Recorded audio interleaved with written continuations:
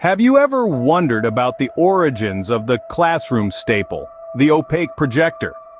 This fascinating piece of technology, which showcases images of opaque objects on a screen using reflected light, has a rich history and a legacy that carries into the present day.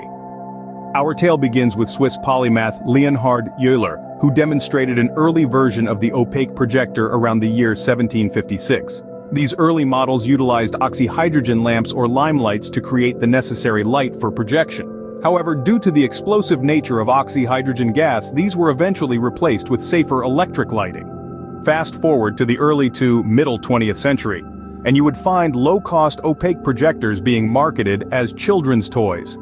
A far cry from their modern applications, but an important step in their evolution nonetheless. In the current day, opaque projectors have found a different kind of artistic outlet. They are used by graffiti artists to draft or create their artwork on rice paper, which is then adhered to a wall, a surprising yet creative reuse of a classic piece of technology. And the star of our story? The Buhl Mark IV opaque projector, the most popular model of opaque projector to this day. This device offers simplicity and convenience, without the necessity of preparing presentation materials. It's plug and show at an affordable price. Buhl continues to support and service their projectors worldwide, some of which have been in operation for over 40 years.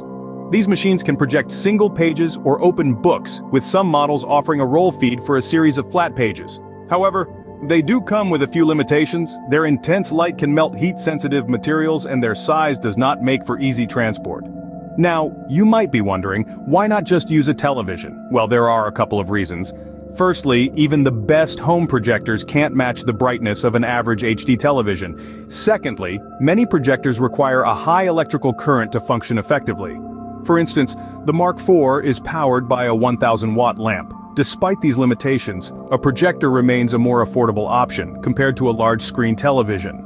In conclusion, the opaque projector from its humble beginnings in the mid-18th century to its modern-day use in classrooms and by graffiti artists remains a relevant and fascinating piece of technology.